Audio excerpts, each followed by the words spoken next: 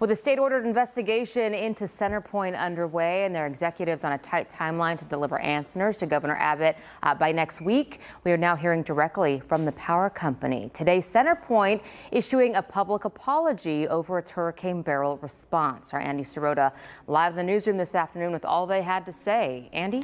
Lisa, today they answered to the Public Utility Commission, which is now looking into the company's response and performance. As a result, they're now promising to do a better job.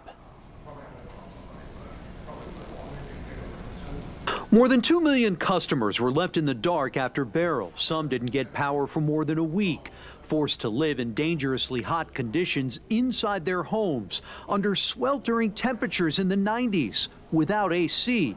Many of those who died lost their lives to heat illness. Critics have questioned whether CenterPoint cut corners with maintaining trees around town. With respect to vegetation management, it offers no relief to our customers who experience the anger and frustration with Hurricane Beryl.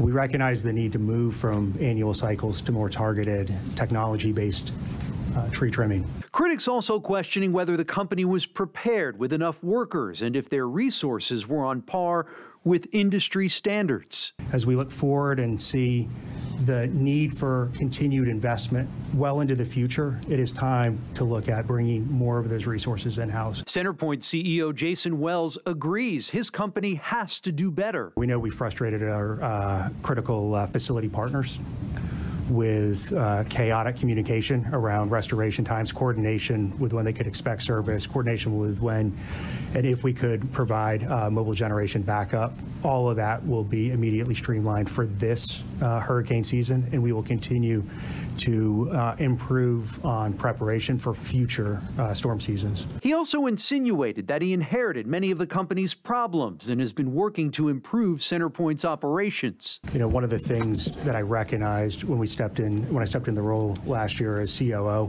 is that we hadn't fully implemented the national incident management system, incident command structure across the company.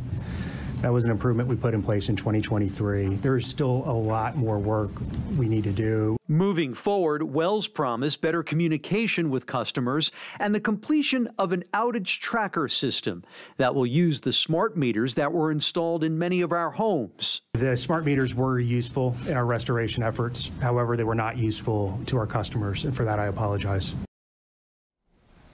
Wells also said they will implement ways for customers to report outages that includes photos of damage so that they can prioritize work for areas where the line's down and are posing safety hazards.